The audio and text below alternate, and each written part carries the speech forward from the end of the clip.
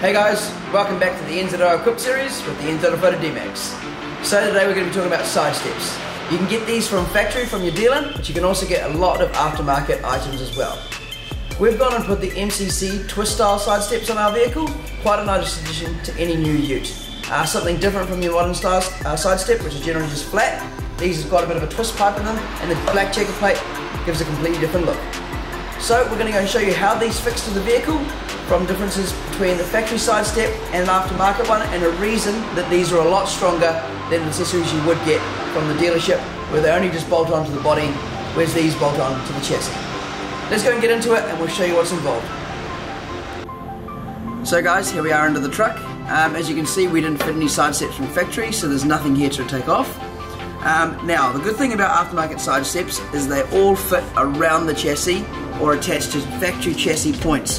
There's no damage to the chassis or drilling into it, or no basically modifications to the chassis of any sort. Now the other thing to remember for factory side steps is that they do bolt the underside of your sills. So they aren't strong, they aren't that tough, and when you're in an off-road application, they can cause damage to the sills.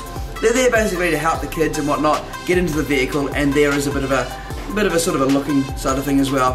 Um, whereas aftermarket accessory side steps are a much stronger item, can be used off-road um, for the certain type of side step that they are, depending what they're set up for, and they cause no damage to any side of the sill, and again, easy to bolt on, completely around the chassis, and we're using factory points. So with the other side that we've already set up, we're going to go and show you exactly what's involved, and show you how easy the process is.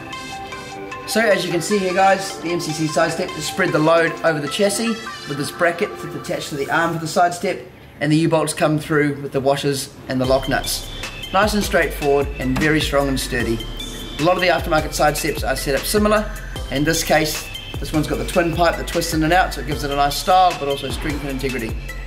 Sweet guys, well we're going to chuck the other side on, lower it down and take a look what it looks like on the vehicle.